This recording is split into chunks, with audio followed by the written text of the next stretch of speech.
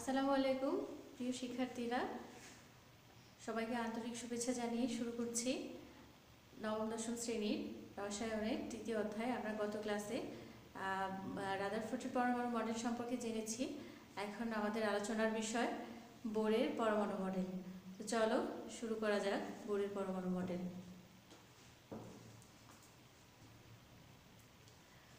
Rather রাদারফোর্ডের পরমাণু মডেলের ত্রুটিগুলোকে সংশোধন করে উনিশশো তেরো খ্রিস্টাব্দে বিজ্ঞানী নিলস বোর পরমাণুর একটি মডেল মডেল প্রদান করেন।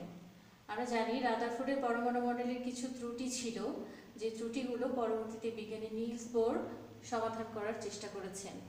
এই মডেলকেই বোরের পরমাণু মডেল বলা হয়। বোর পরমাণু মডেলের মতবাদগুলো হচ্ছে এরকম, পরমাণুতে যে সকল ইলেকট্রন থাকে, সেগুলো নিউক্লিয়াসকে কেন্দ্র করে ইচ্ছে মতো যে কোনো কক্ষপথে ঘুরতে পারে না। অর্থাৎ পরমাণুতে যে ইলেকট্রনগুলো চারদিকে ঘূর্ণায়মান অবস্থায় থাকে, কেন্দ্র নিউক্লিয়াসকে কেন্দ্র করে চারদিকে, সেগুলো কিন্তু তার ইচ্ছা মতো ঘুরে বেড়াতে পারে না। অর্থাৎ, সেটা একটা নির্দিষ্ট নিয়ম অনুসারে ঘুরে বেড়ায়। সেই নিয়মটা হচ্ছে কি, শুধু নির্দিষ্ট ব্যাসার্ধের কতগুলো অনুমোদিত বৃত্তাকার কক্ষপথে ঘুরবে। অর্থাৎ যে কক্ষপথে ইলেকট্রনগুলো ঘূর্ণায়মান অবস্থায় থাকবে, সেই কক্ষপথের কেন্দ্র থেকে একটা নির্দিষ্ট ব্যাসার্ধ থাকবে। একটা ব্যাসার্ধ থাকবে যে, যেখানে কিনা ইলেকট্রনগুলো ঘোরাফেরা করবে। এই নির্দিষ্ট ব্যাসার্ধের অনুমোদিত বৃত্তাকার কক্ষপথগুলোকে অনুমোদিত কক্ষপথ বা প্রধান শক্তিস্তর বা কক্ষপথ বা শেল বা অরবিট বা স্থির কক্ষপথ বলে। অর্থাৎ সেই বৃত্তাকার কক্ষপথগুলোকে এই নামগুলোতে বলা যেতে পারে। স্থির কক্ষপথে ঘোরার সময় ইলেকট্রনগুলো কোনোরূপ শক্তি শোষণ বা বিকিরণ করে না। যখন স্থির অবস্থায় থাকে এবং ইলেকট্রনগুলো সেখানে ঘূর্ণায়মান করে, সেখানে কিন্তু কোনো শক্তি শোষণ কিংবা বিকিরণ হয় না। স্থির কক্ষপথকে এন দ্বারা প্রকাশ করা হয়েছে স্মল এন দ্বারা প্রকাশ করা হয়েছে, যেখানে এন এর মান ওয়ান টু থ্রি ফোর ইত্যাদি হয়ে থাকে হ্যাঁ?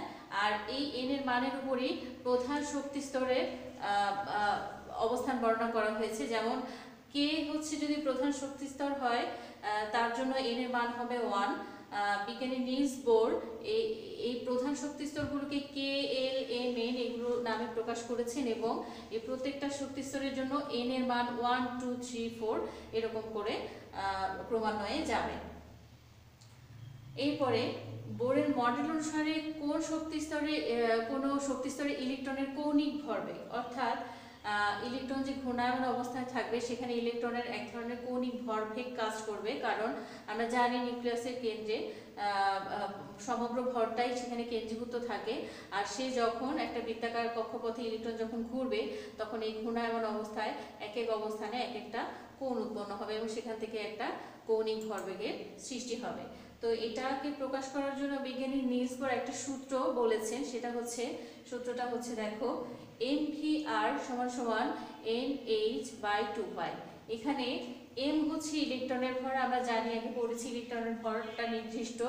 Nine point one one into ten to power minus thirty one kilogram এখানে আর আর হচ্ছে ইলেকট্রন যে কক্ষপথ বা শক্তিস্তরে ঘুরবে তার ব্যাসার্ধ। অর্থাৎ নিউক্লিয়াসকে কেন্দ্র করে ইলেকট্রন যে কক্ষপথে ঘুরবে, সেই কক্ষপথের ব্যাসার্ধকে আর দ্বারা প্রকাশ করা হচ্ছে। আমরা জানি বৃত্তের ব্যাসার্ধ থাকে, যেহেতু ইলেকট্রনের কক্ষপথকে বৃত্তাকার ঘরের সাথে তুলনা করা হয়েছে, সেজন্য এখানে ব্যাসার্ধকে আর দ্বারা প্রকাশ করা হয়েছে। ভি হচ্ছে ইলেকট্রনের যে কক্ষপথ বা শক্তিস্তরে ঘুরবে, সেই কক্ষপথে ইলেকট্রনের বেগ।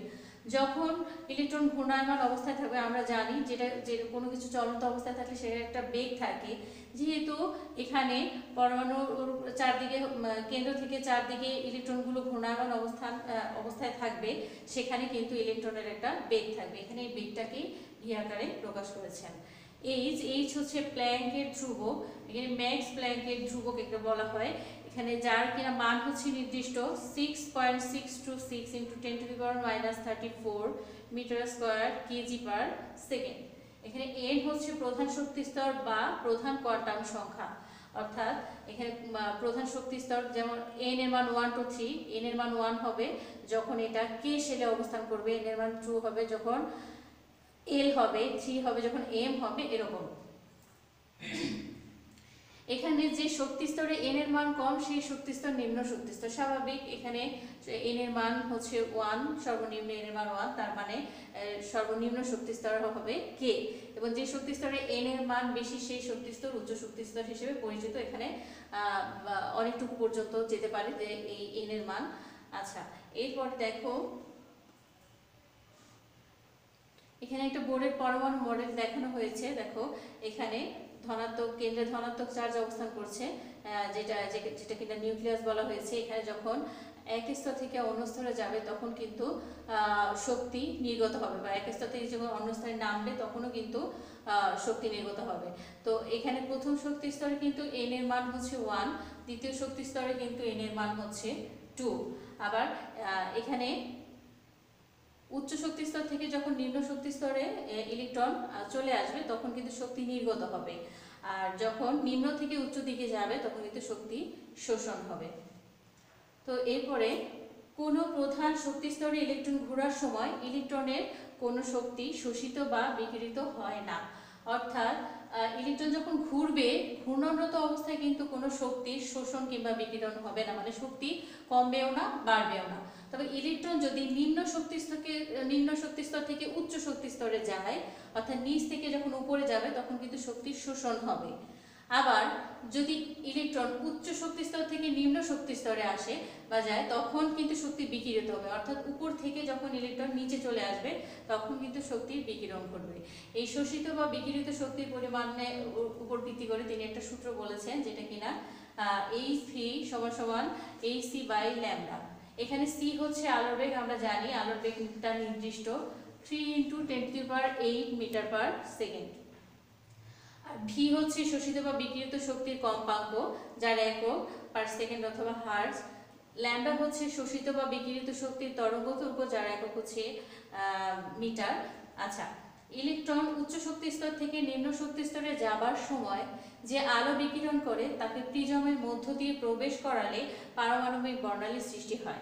আচ্ছা দেখো ইলেকট্রন উচ্চ থেকে নিম্ন শক্তি স্তরেও আহ, যেতে পারে বা নিম্ন থেকে উচ্চর দিকেও যেতে পারে। তো এখন এই সময় যে আলো বিকিরণের কথা বলা হয়েছে তাকে প্রিজমের মধ্য দিয়ে প্রিজম হচ্ছে পাঁচ তল বিশিষ্ট একটা আহ, নেয় অংশ। এটা তোমাদেরকে দেখানো গেল না, কারণ প্রিজম আমার কাছে নেই। থাকলে হয়তো আমি দেখাতে পারতাম। আচ্ছা এর মধ্য দিয়ে প্রবেশ করা প্রবেশ করালে পারমাণবিক বর্ণালী সৃষ্টি হয়। আচ্ছা এখানে হচ্ছে পারমাণবিক এক ধরনের বর্ণ সৃষ্টি হয় যখন যদি প্রিজমের মধ্য দিয়ে দেওয়া হয়। তো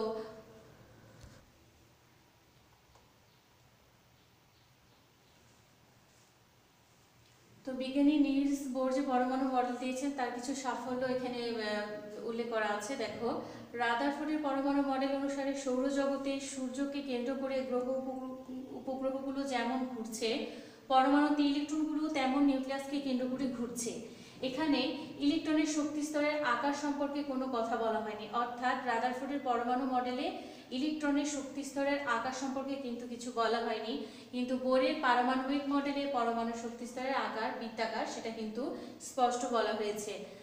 এরপরে রাদারফোর্ডের পরমাণু মডেলে পরমাণু শক্তি শোষণ করলে বা শক্তি বিকিরণ করলে পরমাণুর গঠনে কী ধরনের পরিবর্তন ঘটে, সে কথা কিন্তু বলা হয়নি।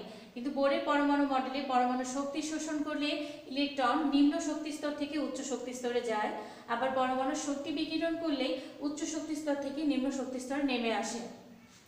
অর্থাৎ রাদারফোর্ডের পরমাণু মডেল দেখো, শক্তির শোষণ বিকিরণ সম্পর্কে বলেছে, কিন্তু কখন শক্তির শোষণ হয় কিংবা কখন বিকিরণ হয় সেটা কিন্তু বলা হয়নি, সেটা বিজ্ঞানী নিউজবোর্ড স্পষ্ট করে বলে দিয়েছেন। এরপরে রাদারফোর্ডের পরমাণু মডেল অনুসারে, কোনো মৌলের পারমাণবিক বর্ণালী ব্যাখ্যা করা যায় না। অর্থাৎ, কোনো মৌলের পরমাণুর যে মডেল সেটার পারমাণবিক বর্ণালী কেমন হতে পারে সেটা কিন্তু কোনো সেটার কোনো কথা কিন্তু উল্লেখ করা হয়নি। কিন্তু বোরের পরমাণু মডেল অনুসারে এক ইলেকট্রন বিশিষ্ট পরমাণু হাইড্রোজেনের বর্ণালী ব্যাখ্যা করা যায়। অর্থাৎ উনি কিন্তু এখানে এক ইলেকট্রন বিশিষ্ট পরমাণুর হাইড্রোজেনের বর্ণালীর কথা কিন্তু উনি বলেছেন, যেটা রাদারফোর্ডের পরমাণু মডেলে একদমই অনুপস্থিত ছিল। তো বোরের পরমাণু মডেলেরও কিছু সীমাবদ্ধতা রয়েছে। পরবর্তীতে বিজ্ঞানীরা সেগুলো বের করেছেন, আবিষ্কার করেছেন, দেখো। বোরের পরমাণু মডেলের কিছু সীমাবদ্ধ ত্রুটি লক্ষ্য করা যায় সেগুলো হচ্ছে, বোর মডেলের সাহায্যে এক ইলেকট্রন বিশিষ্ট পরমাণুর পারমাণবিক ব্যাখ্যা করা যায় সত্যি। মানে এক ইলেকট্রন বিশিষ্ট, অর্থাৎ হাইড্রোজেনের পারমাণবিক বর্ণালী ব্যাখ্যা করেছেন, কিন্তু একাধিক পারমাণবিক বর্ণালী কিন্তু তিনি ব্যাখ্যা করেননি বা সে সম্পর্কে কিন্তু তিনি কোনো ইনফরমেশন দেননি। বোরের পারমাণবিক মডেল অনুসারে এক শক্তিস্তর থেকে ইলেকট্রন অন্য শক্তিস্তরে গমন করলে পারমাণবিক বর্ণালীতে একটি মাত্র রেখা পাওয়ার কথা। অর্থাৎ বোর কিন্তু পারমাণবিক বর্ণালীতে একটি রেখার কথা বলেছেন। কিন্তু শক্তিশালী যন্ত্র দিয়ে পরীক্ষা করলে দেখা যায় প্রত্যেকটা রেখাই অনেকগুলো ক্ষুদ্র ক্ষুদ্র রেখার সমষ্টি। অর্থাৎ একটা রেখা ভাগ করলে অনেকগুলো রেখাকে লক্ষ্য করা যায়। কিন্তু তিনি একটা, একটি মাত্র রেখার কথা বলেছেন। প্রতিটি রেখা কেন অনেকগুলো ক্ষুদ্র ক্ষুদ্র রেখার সমষ্টি হয়, বোর মতবাদ অনুসারে তার ব্যাখ্যা দেওয়া যায় না। অর্থাৎ বোরের মতবাদ অনুসারে ওই রেখার বিশিষ্ট রেখাগুলোর কোনো ব্যাখ্যা পাওয়া যায়নি। বোরে পরমাণু মডেল অনুসারে পরমাণুতে শুধু বৃত্তাকার কক্ষপথ বিদ্যমান।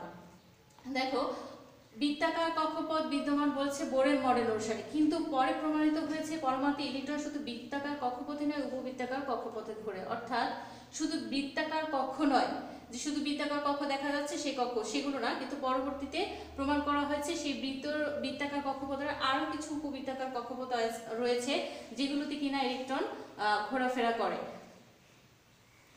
তো তোমাদেরকে আমি এই- এখান থেকে হচ্ছে কিছু সংক্ষিপ্ত জিনিস আমি তোমাদেরকে একটু দেখাতে চাচ্ছি।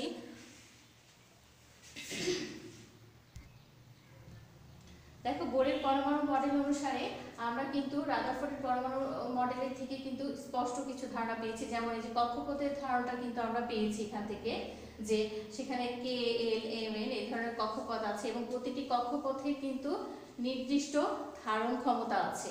ঠিক আছে? যেমন কে ছেলের ধারণ ক্ষমতা দুই, এ ছেলের ধারণ ক্ষমতা আট এম ছেলের ধারণ ক্ষমতা আঠারো এন ছেলের ধারণ ক্ষমতা বত্রিশ, এরকম। তারপরে আরেকটা পেয়েছি কি? ইলেকট্রনের কৌণিক ভরবেগ, যেটা রাদারফোর্ডের পরমাণু মডেলে ছিল না। তারপরে আরও পেয়েছি আমরা ইলেকট্রনের শক্তির শোষণ এবং বিকিরণ কীভাবে শক্তির শোষণ হয় এবং বিকিরণ হয়। তো আশা করি তোমরা বোরের পরমাণু মডেল সম্পর্কে বুঝতে পেরেছ এবং স্পষ্ট ধারণা পেয়েছ। তো বন্ধুরা আজকে এ পর্যন্তই। পরবর্তী ক্লাসে আমরা এরপর থেকে আলোচনা করব ইনশাল্লাহ